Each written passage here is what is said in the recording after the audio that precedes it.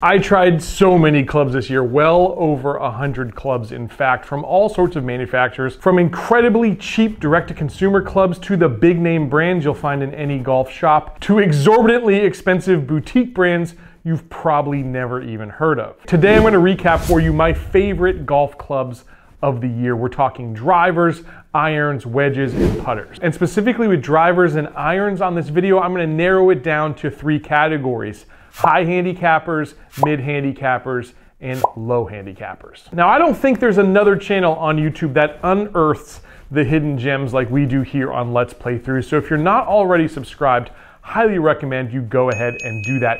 And while you're at it, enter our contest. I'm giving away a complete set of golf clubs from Sticks. If you haven't already entered, I've got a link down there below. You could just have a very nice holiday present for you or someone in your life. All right, let's start off with everyone's favorite club to lust over, the drivers. Now this year in 2023, there were so many great options that came out on the market and a few brands that only release every once in a while also released in 2023, so we had an incredible array of drivers from all sorts of manufacturers. Brands like Ping, Srixon, even Yonex came out with new drivers in 2023. It was a pretty special year. So first, diving into my favorite game improvement driver of the year. This is aimed at you higher handicap, someone that needs a lot of forgiveness.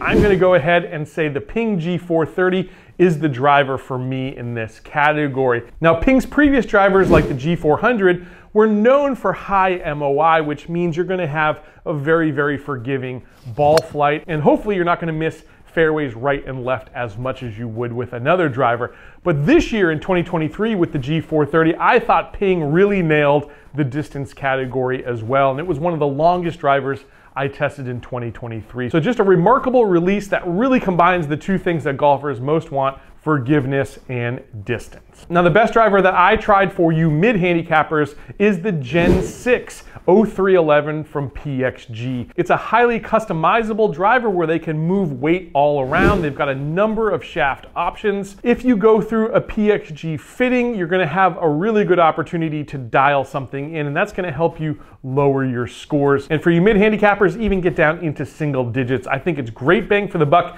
especially if you wait probably till March or April next year. You'll be able to find this thing on a discount. That's just PXG's release schedule. They'll roll out the Gen 7s in the summer, and in the spring, they're gonna discount what we've got here with the Gen 6.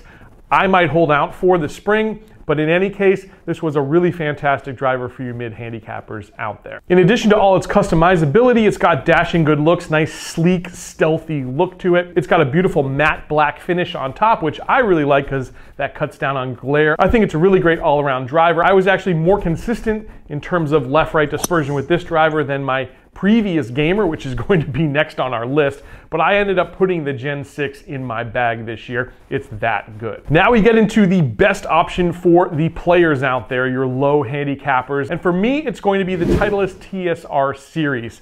I personally think the TSR3 was the best of the bunch, especially when I paired it with a counterbalanced HZRDUS shaft. I thought it was the perfect combination. Great piercing trajectory out of this driver. The sound, the feel, the looks, everything about it is solid. I found the dispersion to be excellent with this driver and it was the longest driver I tried this year. So if you're all about the distance, I think the TSR is the one in general, a great driver that you can work left and right, which a player is going to want to do, shape his shots out there on the golf course depending on the look of the hole. It's really the entire package, and for me, it's the driver of the year overall. All right, next section here is going to be irons. Again, we're going to start off here with the best high handicapper or game improvement irons. There are so many good ones this year. I would put Callaway Paradigm up there, the Stealth 2 up there. Even the Ping G430 irons were excellent. All of those irons extremely forgiving extremely long. Now they're gonna have pressed lofts, of course. They're gonna give you a little extra help, but that didn't hurt too badly when it came to spin and stopping power. These things also hold green. So those three excellent choices, but there is one iron that stood head and shoulders above the rest for me. It's also just an incredible value where I think high handicappers probably should be shopping. Shouldn't be spending a ton of money if you can avoid it. Try to get something that's your best bang for the buck. For me, that is going to be the Wilson Dynapower. Now, a lot of people loved the Dynapower driver this year. I was not one of those people. I thought it was fair, it was good, it just wasn't towards the top of the list for me. But the irons were a different story. I think, bar none, they were the best feeling for a cast club that has a big cavity and some offset to it. They still felt very close to a forged feel. And if you want that forged feel, by the way, the deforged irons from Wilson Staff are really great contenders as well. But these felt really great. Now, in terms of height, they were absolutely incredible, getting up high in the air, stopping really nicely on greens, even with its pressed loft. And let me tell you, these are right up there with the longest game improvement irons I've ever tried. The Dynapower with those press lofts goes a mile, but like I said, still stops really well on greens. Forgiveness wise, I think they're the most forgiving irons I tried in 2023 as well. Again, full package, Wilson Dynapower does it for me for the high handicappers. Let's talk next about best mid handicap iron. This is again where you're probably trying to pair a really great club with decent value. Again, some solid contenders in this category. First off, we'll talk about the Titleist T200 which is leaps and bounds above the previous model of that club. Just fantastic. You've also got direct to consumer brands like Takomo that are just offering incredible value. You can get a set of clubs for $500 or even less with Takomo, and they're just as good, if not better, than a lot of the big names out there. But for me, the best golf clubs I tried in 2023 for the mid handicap range is going to be the TaylorMade P790s. This is the new 2023-2024 edition. They came out just a couple of months ago. I had a chance to test these in the PGA Tour Superstore. They were absolutely beautiful. Not only beautiful in terms of good looks, which these are probably the best looking mid-handicap irons out there. They're the OGs when it comes to a hollow body foam filled construction that looks like a blade. They were the first to ever do it. And this new updated P790 for 2024 is absolutely incredible. It is the straightest. I think it's the most consistent. The original P790 did struggle a little bit with consistency. Sometimes you just get one that kind of blasted off the club face. I found these irons to have an incredibly tight dispersion, both in terms of direction and in terms of distance. So a very, very consistent club. It's going to be a great stepping stone if you're trying to move down into a lower handicap, maybe break single digits for the first time. These are clubs that can absolutely get you there. Again, they've got workability even alongside some really fantastic forgiveness. I'm a person, my miss oftentimes is a little thin. The shots of the new P790s did not lose much distance. The P790 series just continues to get better and better. The unfortunate thing is they continue to get more expensive and more expensive. But I do think they are the best clubs that I tried this year for mid handicappers. Now, the best player irons are the ones that I have put in my bag this year. It's a brand you may or may not have heard of before, but it is called Edel. It's a company out of Colorado very boutique brand. These clubs are not cheap, but they are worth every penny. The first time I took them out of the box and took a swing here in my simulator, the words out of my mouth were holy.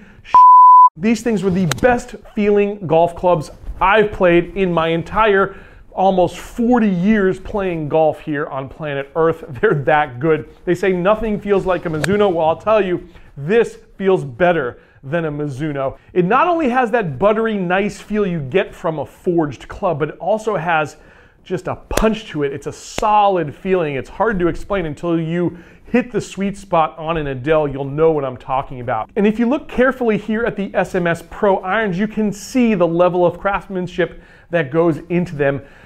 Most notably, look at the heel of this club. You can see some very defined sculpting. You've also got milling at the heel of this club. I don't know if I've ever seen that in a golf club before. So it looks good, but what does it actually do on a golf course? Well, let me tell you, the turf interaction with the SMS Pros is the best I've ever felt. It just cuts through the turf like a knife. I've never had a club that got through the rough so easy. It just cuts right through. Again, these feel so, so incredible. I can't say enough good things about the feel of these clubs. They are long, but they're not super pressed forward. At the 7 iron, they're 32 degrees, which is the newer, modern standard for a player's club, I would say, but they go a long ways. And I love the trajectory of these clubs. I can really dial that in I played in some windy conditions. I can keep that ball flight low and I can get the ball flight higher when I need to. I can shape all the shots. I'm playing the best golf of my life with the Edel irons. The only drawback to the Edels is that it's going to be tough for you to actually test these irons. They do have a couple of locations where you can do it.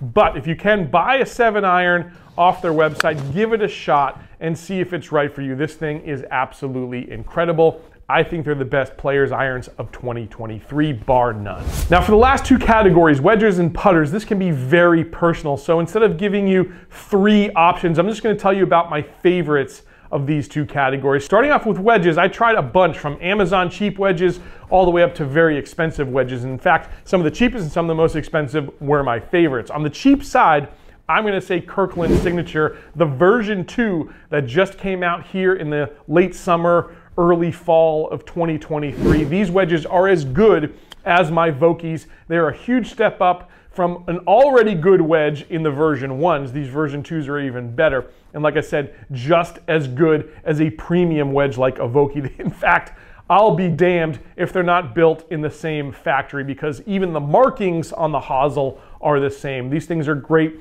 The only drawback of the Costco Kirkland signature wedges, version 2s, just like the version 1s come in a 52, 56, 60 setup, and that's all you've got. There's no customization. You can't change lofts unless you took it to a golf store and you bent them one way or the other. So that's the only drawback. Now, if we get into the high upper end of golf clubs, this is where I found my other favorite set of wedges, and those are the Docus Design Reloaded Plus. Check out the milling on these things. Check out the full face groove. I love a full face groove on a wedge. These things are butter, butter. It's a Japanese boutique brand. You talk about the best type of forged clubs out there, they're gonna be Japanese, and these are as good as they get. Bespoke craftsmanship put into these clubs, they are absolutely incredible. Now the last category here is going to be putters, and I tried, oh, probably at least 100 putters alone this year. I was constantly at the PGA Tour Superstore in their little putting area, stroking putts with everything they had, from Evenroll to Scotty Cameron to Bettinardi and everything in between. I also changed putters no less than five times this year. It was a year that I really struggled with consistency with the putter, and I had way too many three putts for my liking, and so I was constantly changing. One putter that I really liked late in the year was the Odyssey Versa Jailbird. It was the putter you saw on the PGA Tour. I think that's a fantastic putter. I got really hot with that putter, and then I went really cold with that putter. I ended up ending the year with an older putter of mine, the Cobra Sport 45 that I've had for a few years now. I just can't seem to take that out of the bag for too long. It always finds its way back in. So the Versa would be up there in terms of best putters I tried this year, but for me, the absolute best are the Mizuno M Craft putters. This line of putters offers everything from mallets to more blade style putters, but what they all have in common is incredible balance. If you feel these things, the weight in your hands, the balance just to me at least feels right. The face, of course, you're gonna have fantastic craftsmanship with those milled faces here. And for me, coming off the putter is just the perfect amount of, it's not too hard and it's not too soft, it's just right. Something about the balance of these things I really like. Mizuno, of course, known for its irons, and that's historically what they've been all about. But they've really rounded out their catalog these days. The drivers are fantastic. The wedges are really good. I've got them in the bag right now. In fact, and these putters, I think, are as good as anything out there. At least should be in the running next time you're at a golf store and they're sitting around, take a couple strokes with an M-Craft putter. I think you're gonna like what you feel. So those are my picks, guys, for 2023. Those are the best of the best. There were so many good clubs, but those are the ones that really shined for me. How about for you? I would love to know down below. Leave me a comment about your favorite clubs and what you found this year, especially if you found something interesting that we haven't taken a look at here at Let's Play Through. I would love to know about it. Hope you enjoyed it. Hit subscribe, and I'll catch you next time on another edition of Let's Play Through.